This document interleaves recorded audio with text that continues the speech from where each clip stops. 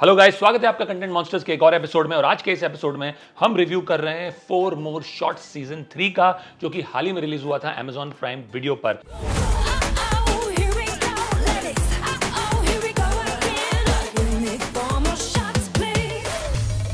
Four more shots के मुख्य कलाकार हैं। पानी जे कीर्ति कुलहड़ी शोनी गुप्ता मानवी गुंगरू जिम सर प्रतीक बब्बर सिमोन सिंह राजीव सिद्धार्थ और लीजा रे। अब दो सीज़न आ चुके इस शो के।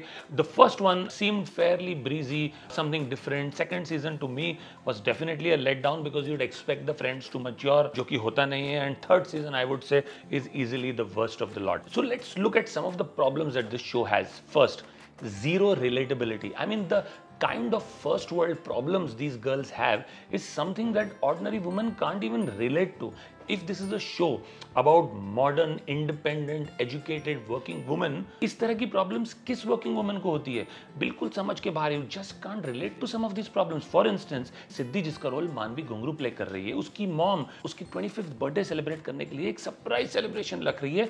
इटली में for God sake she goes ahead and invites a friends और जब उसे पता चलता है कि उसकी मॉम ने सरप्राइज़ बर्थडे रखी है और उसके फ्रेंड्स को भी इन्वाइट कर दिया और उसके फ्रेंड्स ने एक्सेप्ट कर दिया है she just loses a cool on her mom on her friends now is in that something she should be happy about अब इस तरह की प्रॉब्लम्स किसको होती है? These problems are just not relatable इस साल ना मेरी लाइफ बिल्कुल सही होगी। चाहे वो करियर हो या सेक्स कीर्ति कुलहड़ी जो एक काफ़ी सक्सेसफुल लॉयर है एक बड़े लॉ फर्म में she ends up dating her colleague in the last season और जब उनका ब्रेकअप हो जाता है अब वो लोग साथ में मिलकर काम नहीं कर पा रहे हैं because they were dating at one point in time अब either she should just quit that job or join some other company or like mature professionals they should just get along with each other while they are at work and then ignore each other after work अब इसमें क्या इतना बड़ा rocket science है and these are the things that are depicted in this show like I said if your show is about modern feisty independent working woman these women are anything but that इस तरह की problems किसे होती है also that high couture fashion that they are roaming around in all the time. They go to the most exotic places. They click the best pictures.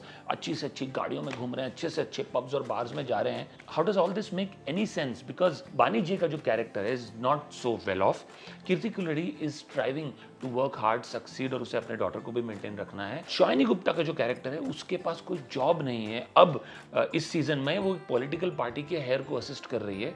ये लोग इस तरह की लाइफ स्टाइल्स मेंटेन कैसे कर पाते हैं? That again is something that you just can't relate to So like I said, this show has zero relatability. The second thing that strikes very odd is that cheating is justified for women. So Sayani Gupta's character, Damini Rizvi Roy, cheats on her boyfriend Prateik Babbar and when he questions her about that, she calls him judgmental and sick. Now how strange is that? You've cheated on him, you never give him time. When he wants to have a heart-to-heart conversation, you don't want to listen to him.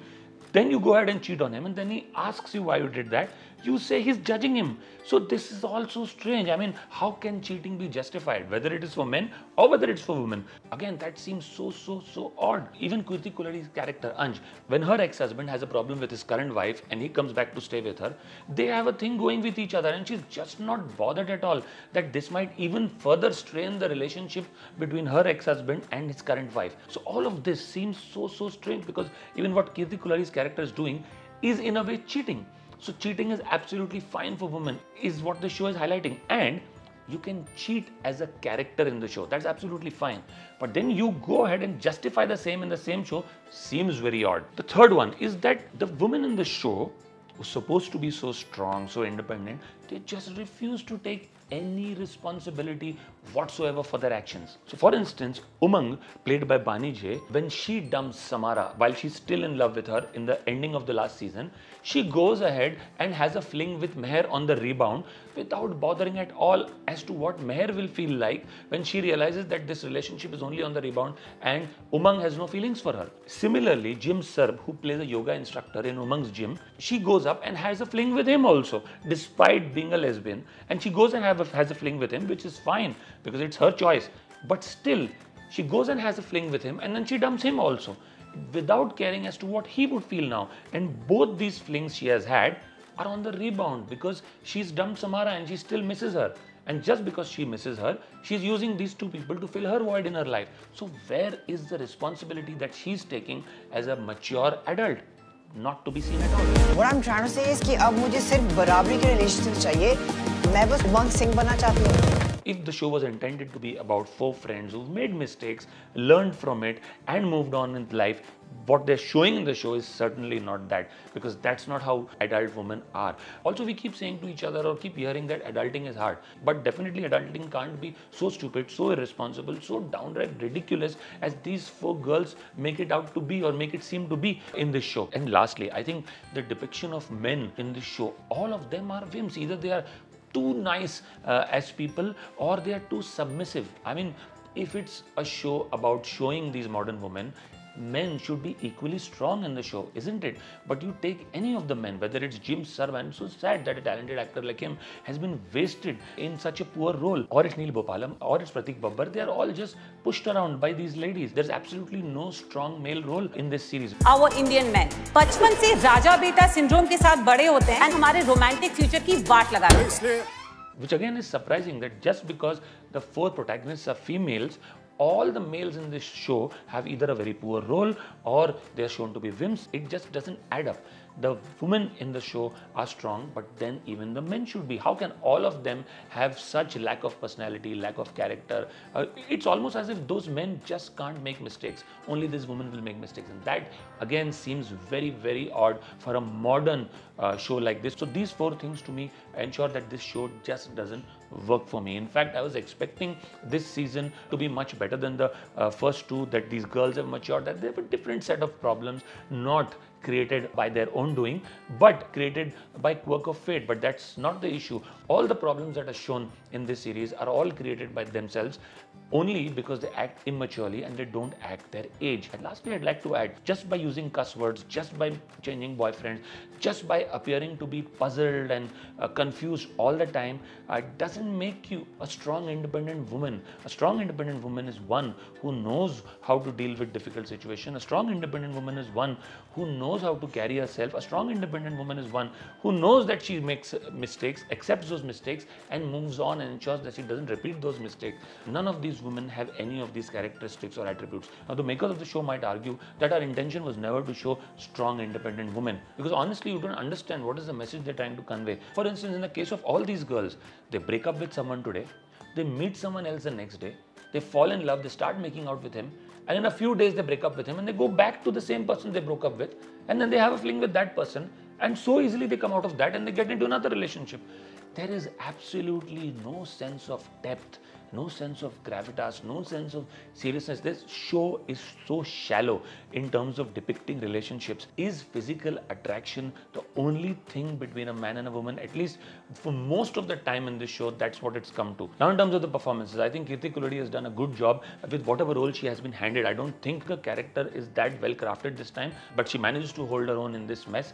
I think maanvi gungru has done a good job uh, despite the fact that like i said because most of the problems are of her own creation but i still believe maanvi gungru has managed to hold her own.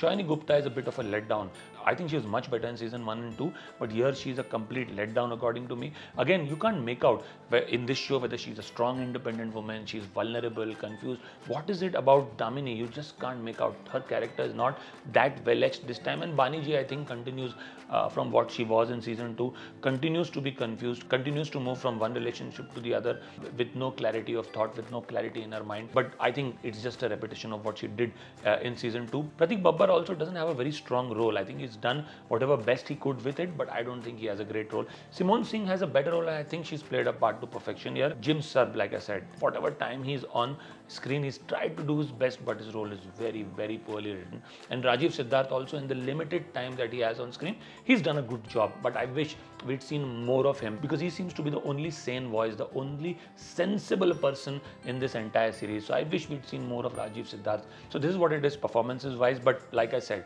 you would expect far more maturity far more depth uh, at least in season 3 uh, of this show. But uh, alas that isn't to be seen.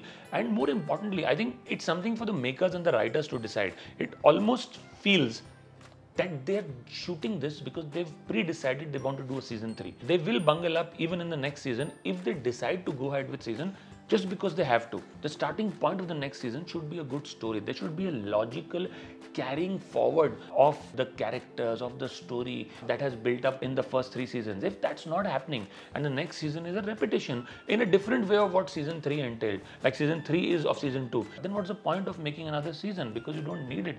This show doesn't need another season unless there is an effective and an important point the next season is making if not for anything else, at least there is a growth in the character graphs of these four protagonists. Even that is not there, then what is season 4 supposed to do? I think that's something that definitely the makers and the writers should keep in mind and ensure that the next season is definitely uh, not a fashion parade like this season was. This season started well. I thought the first episode where they go to Umang's village in Punjab, I thought I could expect some sense here, but clearly it was downhill after that. I'd give the show a rating of 4 on 10 and that too primarily because of a few actors who've done very well on screen. But otherwise, I clearly feel this is an opportunity lost and uh, they should have done much, much better. If you've seen the show, do let us know what you think about the show, whether you agree with our review or don't. Uh, if you like our review, please do subscribe to our channel. And for many, many more such reviews, please do keep coming back. We'll see you soon. Thank you.